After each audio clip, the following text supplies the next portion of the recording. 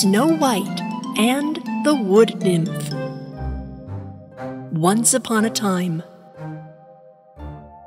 an evil queen named Hela was living on the top of a very high mountain.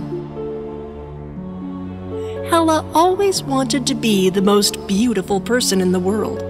However, Snow White, who lived in the most beautiful castle of the country, was much more beautiful. Dunkov, what are you eating? yes, my queen. I was eating a steak with lots of sauce. Would you like to take a sample? Ugh, no. I have to pay attention to what I eat. But this is the best steak in the world, my queen. Uh, Dunkov, go away and eat your steak. Leave me alone with this little nymph. Dunkov went to a corner of the cave and continued to eat his steak with pleasure. Hmm. little nymph, little nymph, what happens if you can't fly to the sky tonight? The little nymph was flapping her wings up and down in the cage with fear. The light of the full moon goes out, doesn't it? so, what happens if there is no light in the sky at night? Darkness.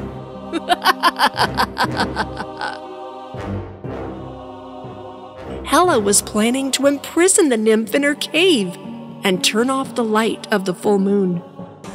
Then she could perform her treacherous plans without being seen.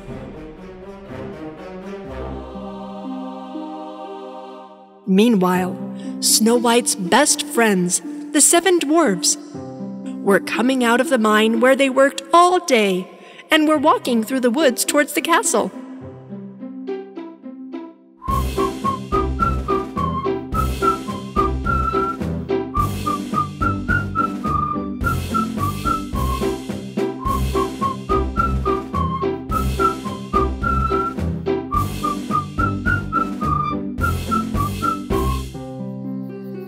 Ace Dwarf, was it getting so dark when we used to return to the castle? Maybe that means it's time for us to just sleep now. the sky was so dark that the dwarfs could not even see each other. And Ace Dwarf realized he could no longer see the moon and stars in the sky. There's something wrong. Ah, the light of the full moon has gone out. This explains why the sky is so dark, boys. But why did the light of the full moon go out?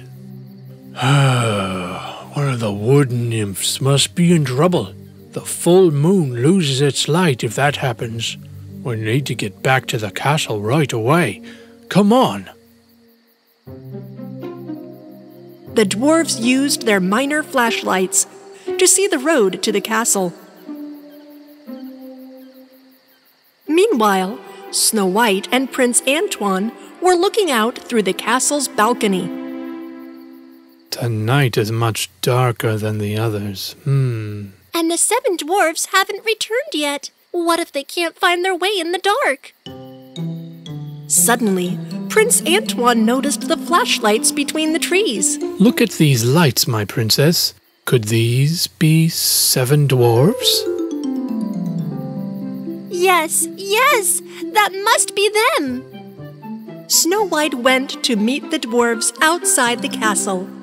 Seven dwarfs, the night is too dark. How did you find your way? We're miner dwarfs, my princess.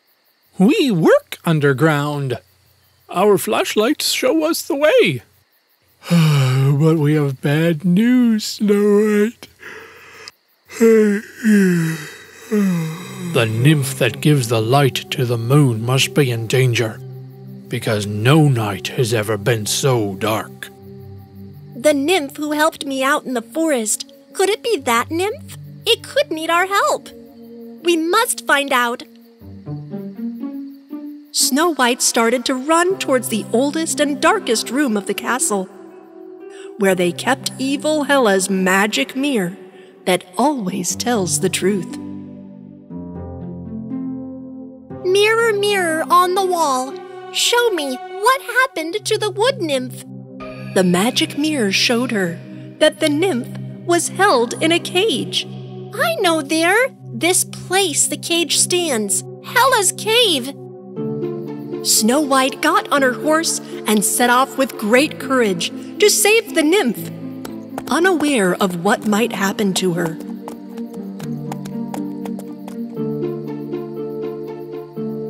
Come on, Snow White. You can do it.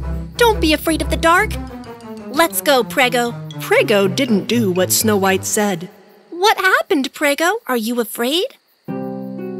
Prego didn't move because the silly dwarf was standing before him. Silly? What are you doing here? Oh, I didn't want to leave you alone, my princess. Look, I brought you a light too. Snow White took the silly dwarf with her and started to set off. So you're so brave, Snow White. You see now. Hella began to say magical words to the glass globe. Meanwhile, the silly dwarf and Snow White, who were riding on the horse, began to hear strange noises. I.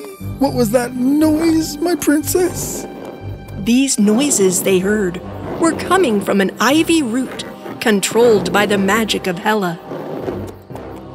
And these roots started to wrap the silly dwarf and the princess with lots of ivy branches. But Prego quickly retreated and got rid of them at the last minute. Oh, no.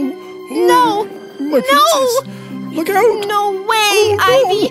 No! Help! Help! Help! Help, my princess! Oh. There's ivies all over! Help! Prego targeted the roots of ivy branches with his sharp eyes.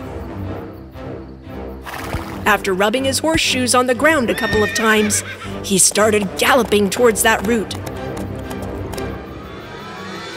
Finally, he stepped on the magical ivy root.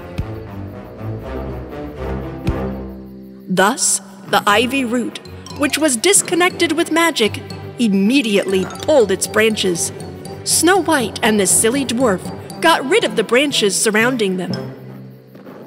Thank you, Prego. You are amazing. Come on, silly dwarf. Let's go and save the wood nymph. Hella was standing before the black mirror with Dunkov. Snow White can never get rid of that ivy, Dunkov. Tomorrow, I will be the most beautiful woman in the world again. Yes, my queen, your magical vines must already have destroyed her. um, um, um. As they speak, Snow White and Silly Dwarf have already reached Hella's cave. They secretly entered the cave without making any sound and saw in a corner a cage. Silly, stay here. Don't make any sound. Snow White, with silent steps, reached the cage before Hella and Dunkov could see her, and then lifted and opened the cover. The nymph came out of the cage and quietly landed and settled on the shoulder of Snow White. The princess slowly walked back to the silly dwarf. But while they were about to come out of the cave together, Silly Dwarf's foot was stuck in a stone, and he fell. And the silence inside was broken. What was that noise? Uh, which noise, my queen? No. Um, um, no. They noticed us. Run, silly, run! Hella saw Snow White and the silly dwarf leaving the castle. Snow White! How could you get rid of that ivy? Then she realized that the cage was empty. No! They've taken the nymph too! Dunkov, run! Catch them! Even though Dunkov was running after them, it was not possible for him to catch them. Meanwhile, Snow White and Silly Dwarf got on Prego with the nymph and started to move away from the cave. No, no! We couldn't do it again. We lost again! I must be the most beautiful woman in the world! Snow White stopped her horse Prego among the trees. Now you are free, wood nymph. Fly and light our full moon. The princess flew the wood nymph from her palm to the sky. As the nymph flapped her wings, the stars started to shine again. And finally, the full moon began to reflect its own light into the night. The sky is glittering again, so let's go back to our castle. So let me turn off my flashlight now, my princess. When Snow White and the silly dwarf arrived at the palace, together with other dwarf friends and the prince, they looked at the stars in the sky and made wishes. After all, the wishes of kind hearted people come true sooner or later.